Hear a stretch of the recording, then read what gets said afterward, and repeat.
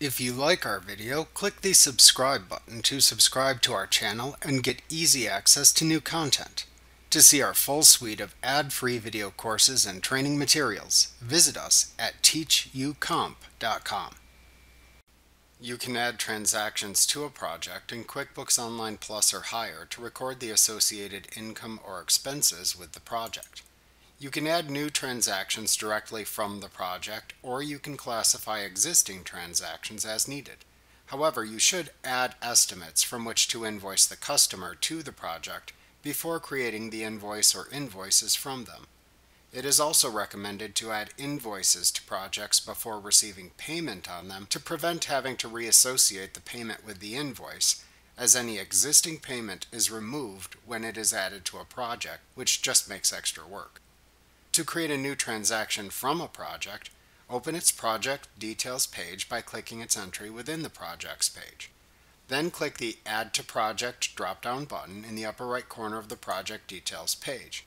Then select the type of new transaction to add from the drop-down menu to open the associated window.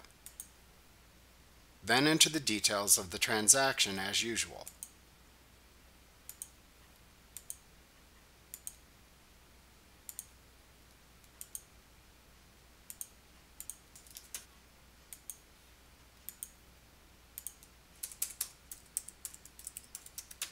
When making selections in this window, the customer field or customer slash project field should already contain the information from the associated project to help you easily classify it. Make sure this information is accurately entered and then save the transaction as usual. Alternatively, to classify existing transactions or new transactions you create through other means to an existing project, Simply select the name of the project from the Customer or Customer Project field when editing or entering the transactions data.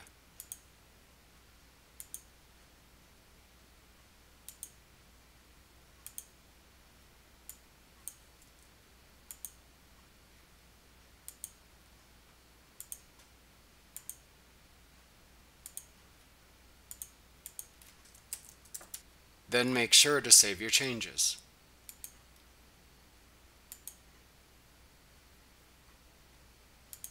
As noted earlier, you can add existing estimates to a project if you haven't converted them to an invoice yet.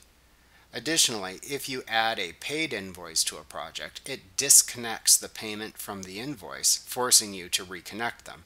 So it's better to add invoices to a project before receiving payment. It's also recommended to not add invoices linked to more than one other transaction, billable expense, or timesheet.